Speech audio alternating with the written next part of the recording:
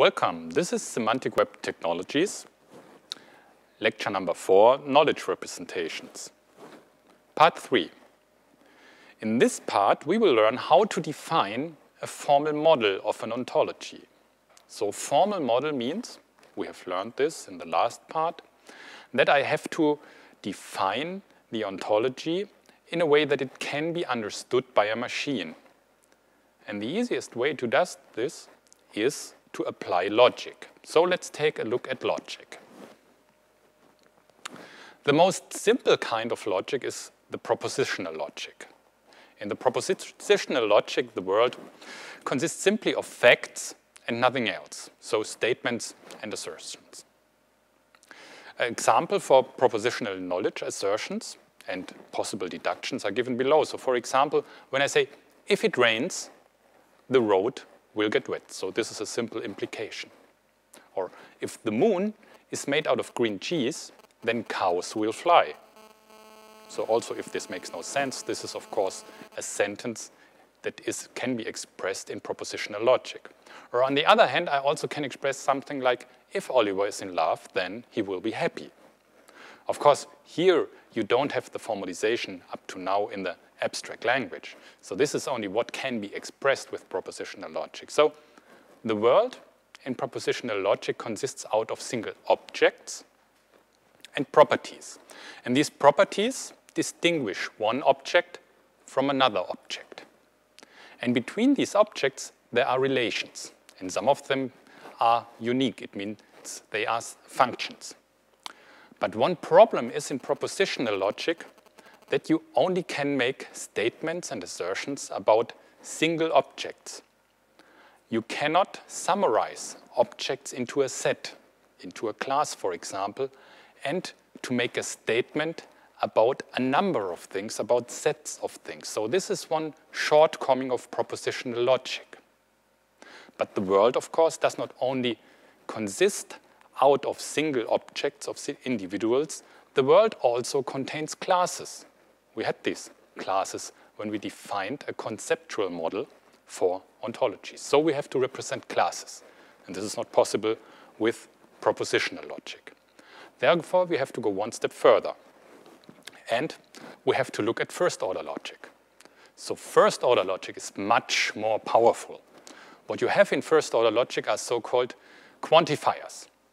And quantifiers, or quantors, they allow assertions about sets of objects, even without naming these objects explicitly. So this is very convenient. So for example, you can then make statements like, all humans are mortal. And then you can pick out one human, for example, Socrates, and you can say Socrates is a human.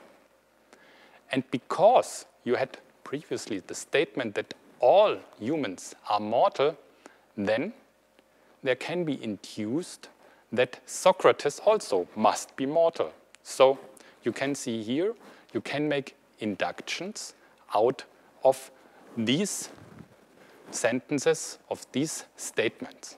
And this is a pretty nice thing because you have a general statement like here, you have a special statement, and then you can infer implicit knowledge that is given here in the generalization for this individual.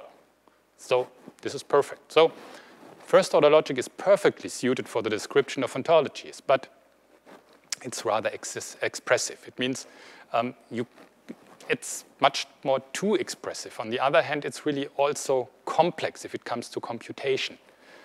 And it's not only complex, some of the calculations that have been made in logic calculus for first order logic are not decidable. So they are not computable. And this is a pretty bad thing. So overall, this expressiveness of the first order logic leads to that for models, it's rather bulky. It's also rather bulky because there are lots of interpretations and you can express the same subject, the same knowledge in various different forms. And therefore, you have the problem to find a unique form or a unique representation for the knowledge.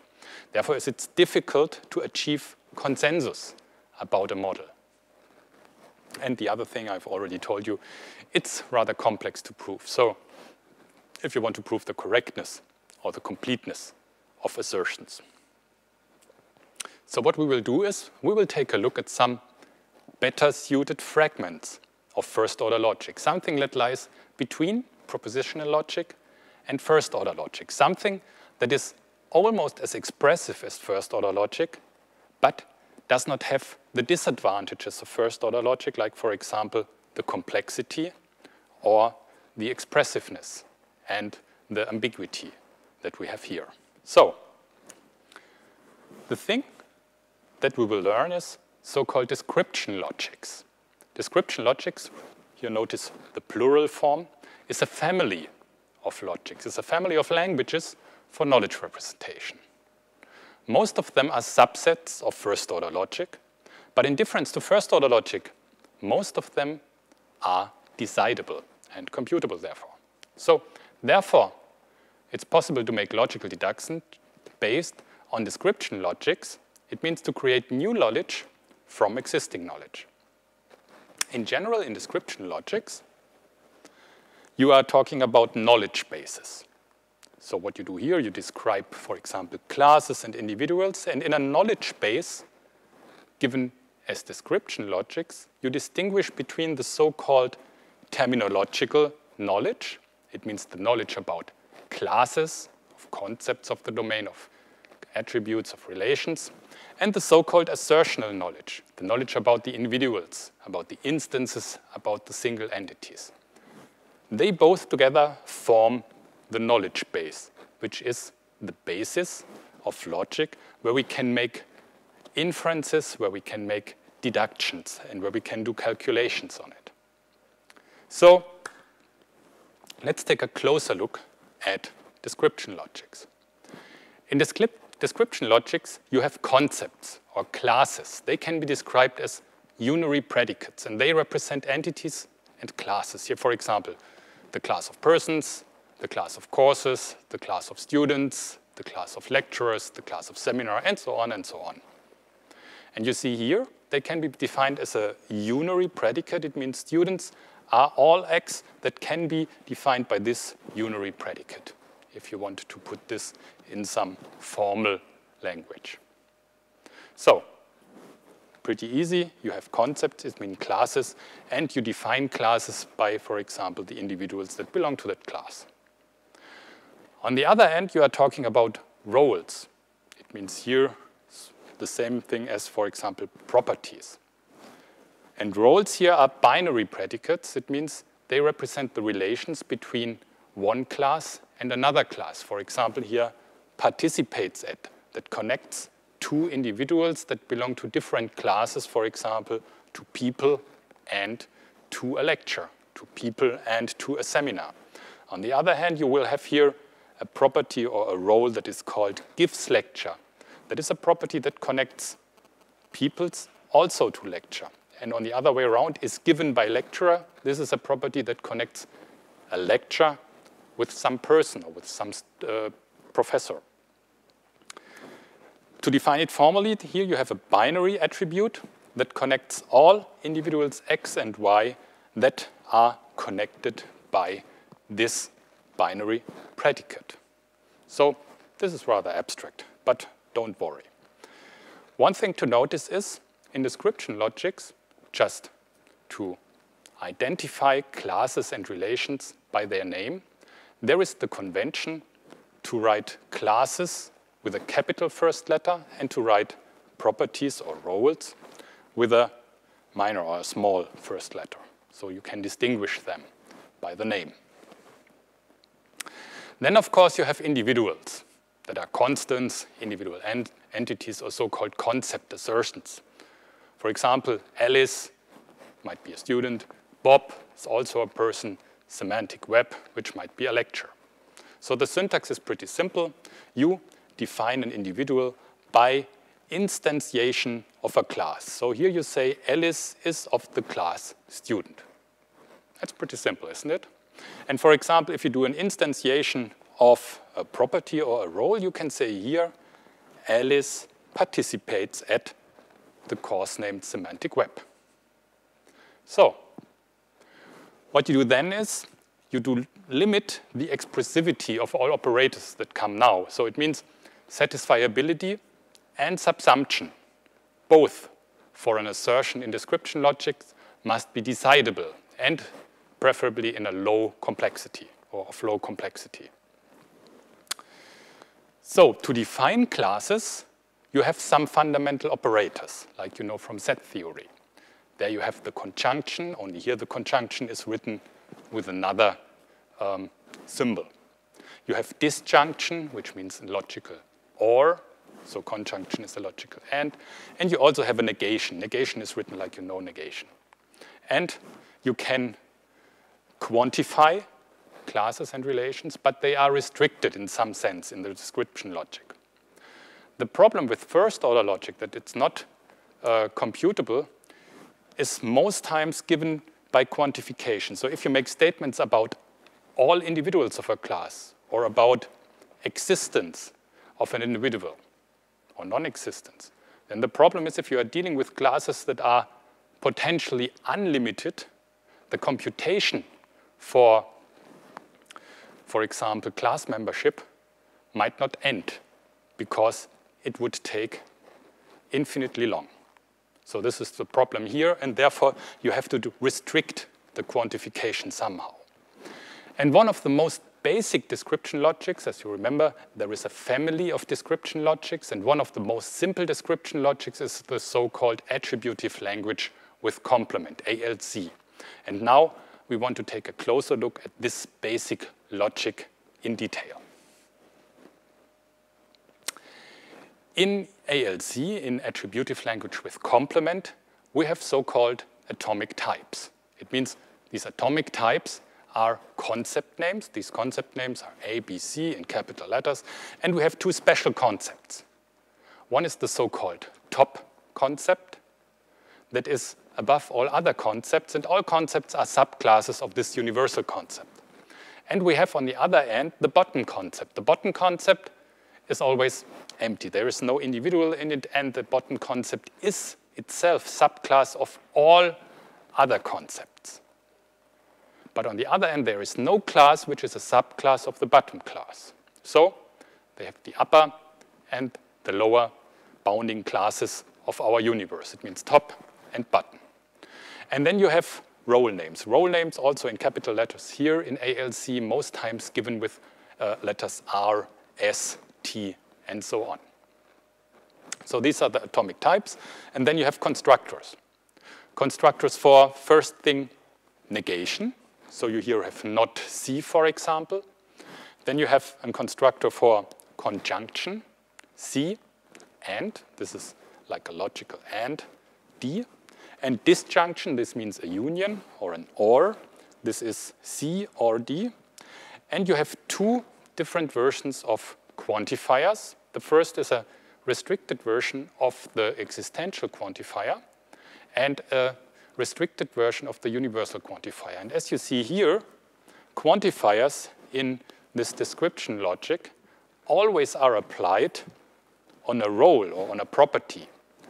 And this property also is restricted from its range. So this C is a class and it defines the range of the property. And it means here, for example, that for this existential quantification, you define a class, which is here then the domain of the property R, where you subsume all these individuals that are connected via the property R with another class which is in C.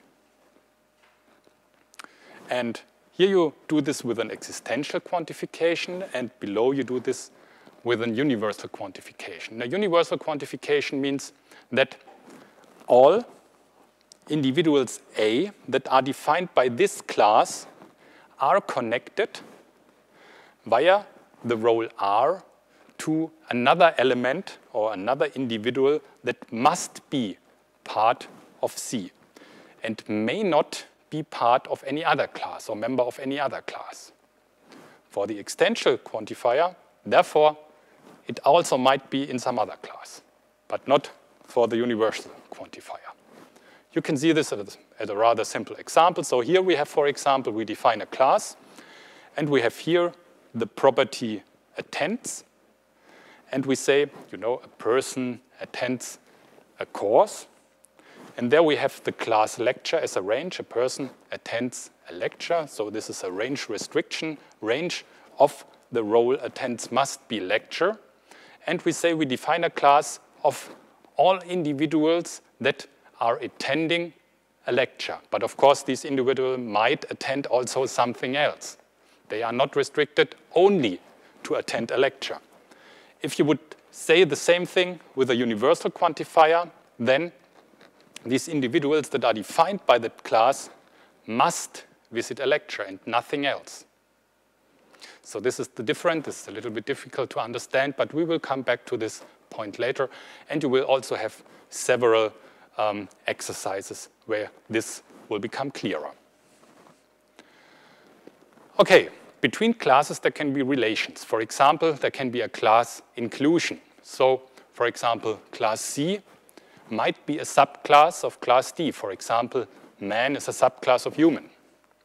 And then there can be equality of classes. It means these two uh, classes are equivalent. Here are two classes where you have women on the one hand, and on the other hand, you have the German identifier Frau, which means men and women, and there are the same individuals in the class. So you can say the equality of the class or the equivalence of a class by this sign. And then, of course, you can construct more complex classes with the help of class constructors. And here, for example, a class is defined as being equivalent to an um, expression given in ALC description logics. And this expression says a seminarist is a person who, at the same time, participates at a seminar. He can also, he or she can also participate at some other course. Doesn't make, doesn't matter, but it should at least visit one seminar. Or who manages a seminar. And of course, these persons might also be allowed to manage something else.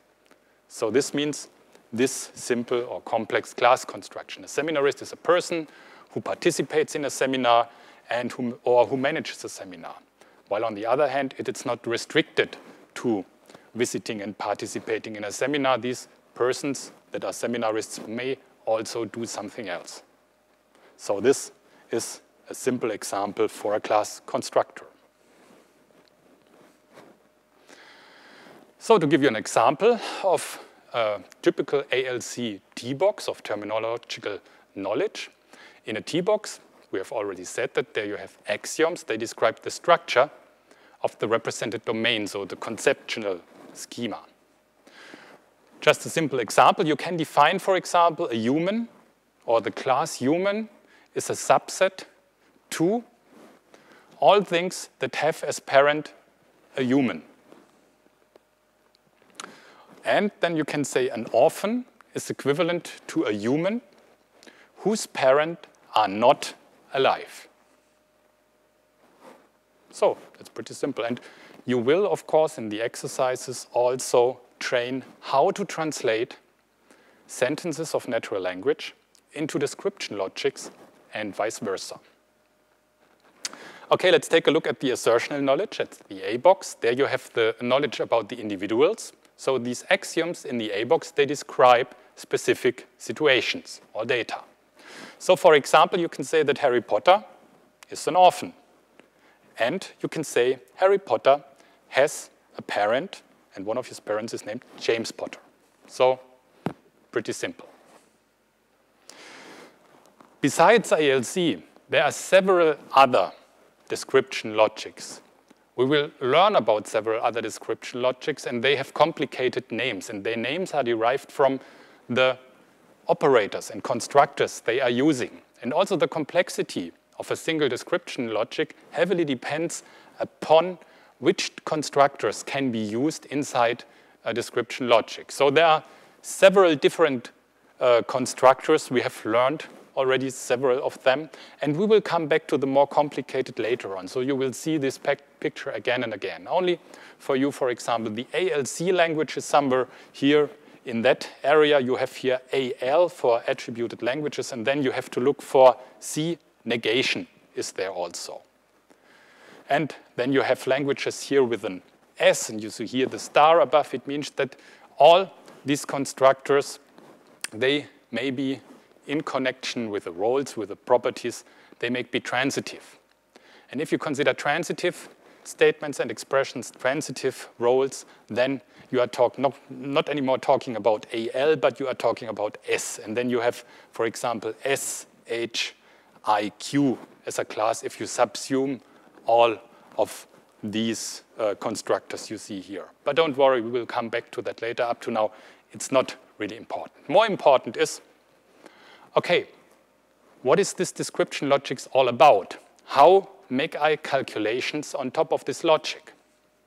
So what we need if we define logic is we need an interpretation for the logic.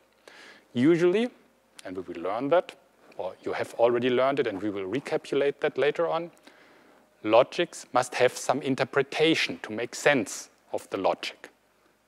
And we are always considering a so-called model theoretic semantics. It means we try to construct a model that interprets the logic.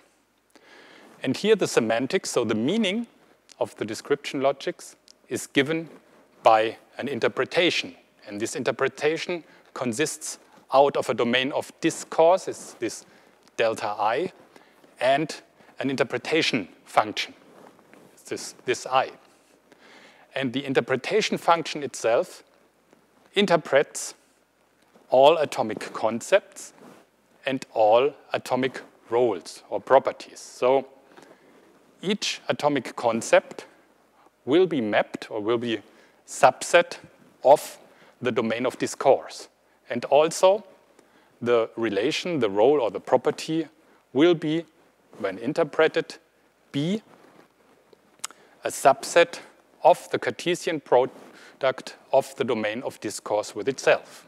So it's pretty simple. What you do here is you try to map the description logics to a set theoretic model, so to set theory.